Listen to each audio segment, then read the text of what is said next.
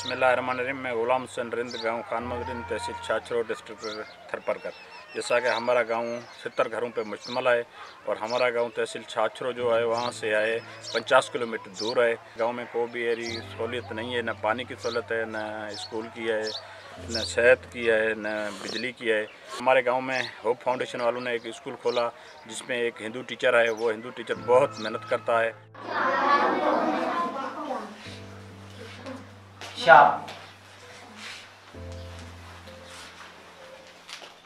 इस साल में हमारे पाँच बच्चे जो हैं कि वो छठी जमात में गए हैं। उसमें तीन बच्चे स्कूल में उन्होंने दाखिला लिया है और दो बच्चे हैं वो ऐसे बैठे हैं। अच्छा उसमें तीन बच्चियाँ हैं, वो भी उन्होंने पाँच क्लास पास किए हैं, उसमें पहुँच नहीं है, वो भी बैठी हैं।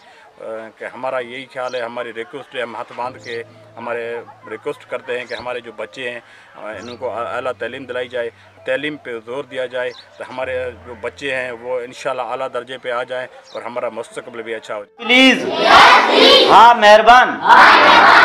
मना हाँ मेहरबान, मदद करे सकी बच्चे मेरा एक बच्चा है जो अभी पाँचवीं क्लास में पढ़ रहा है और मेरे में इतने वसायल नहीं है कि मैं आगे उसको छठी जमात में दाखिल करवाऊँ या किसी अच्छी स्कूल में ले जाऊँ। हमारा हमारे गाँव का नहीं हमारे पूरे इलाके का हमारा एक बच्चा आगे गया तो हमारे पूरे इलाके का मुस्तकबल अच्छा हो जाएगा।